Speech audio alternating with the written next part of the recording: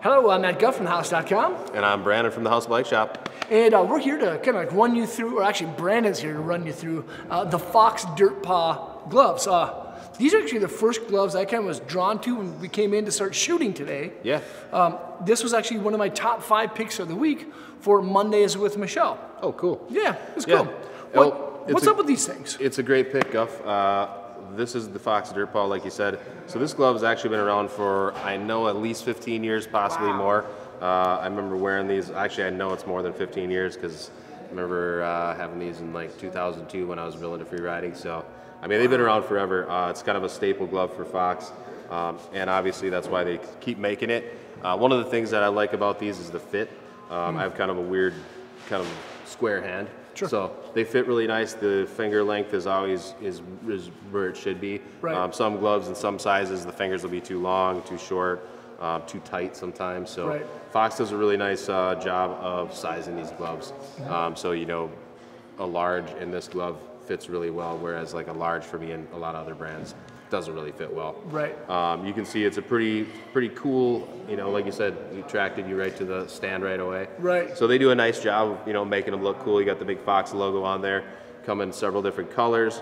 And then if you look at the palms, you have a nice reinforced palm there, um, a little extra padding. Um, so that's for more. You know, these are geared more towards the BMX rider, the free rider. Uh, a little more durable glove, especially compared to like the Troy Lee glove we were looking at earlier, which is real minimalist.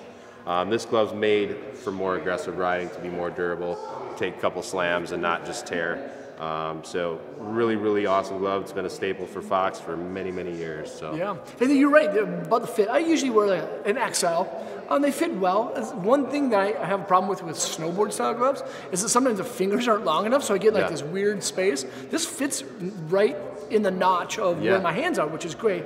And they're touchscreen compatible, which Yes. is really good. So when you're out Instagramming, you can just like swipe away. Or you're on doing whatever yeah, touchscreen, which is nice. absolutely. Yeah. And another nice thing too, I've noticed, like just even being in here, sure it's not warm or really cold, but I can tell that there's good ventilation between the fingers Yes. and then up on top as well.